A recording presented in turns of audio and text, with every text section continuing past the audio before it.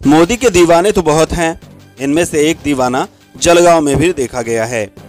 जलगांव के रथ चौक पर नाश्ते की गाड़ी लगाने वाले मधु सपकाड़े ने घोषणा की थी कि मोदी सरकार को बहुमत मिलने के बाद वो एक दिन लोगों को फ्री में नाश्ता बांटेंगे।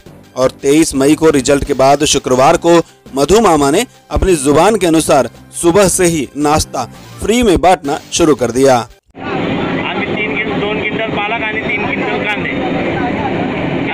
असे भाज्याचा वाटप आम्ही केलेली आहे. चालू आहे. किती वाजेपासून तुम्ही वाटप? सकाळी साडेसात ते दुपारी बारा वाजेपर्यंत. वाटप करण्याचं कारण सांगा. वाटप करण्याचं कारण की एक बहुमताने बी जे पी सरकार भाजप सरकार आलेली आहे. बस. आमचा एक नरेंद्र मोदीवर विश्वास आहे आणि भारताचे खंबीर नेतृत्व नरेंद्र मोदी हेच करू शकतात.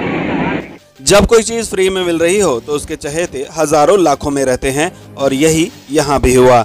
सुबह से ही इस फ्री नाश्ता सेंटर पर नाश्ता करने वाले लोगों की भारी भीड़ दिखाई गई। लोग लंबी कतार में खड़े थे। अपनी बारी आने का इंतज़ार कर रहे थे। यहाँ नाश्ते वाले मामा का सम्मान भी किया गया और लोग मधु मामा की तारीफ़ कर रहे थे। मज़े से भजिया पोहे का आनंद उठा रहे थे। आज आमच्या रथ चौकातील मधुमामा पालक भजवाले, मधुभाऊ सपकाळे यांनी सकाळपासून नाश्ता फ्री वाटण्याचा कार्यक्रम ठेवलेला आहे.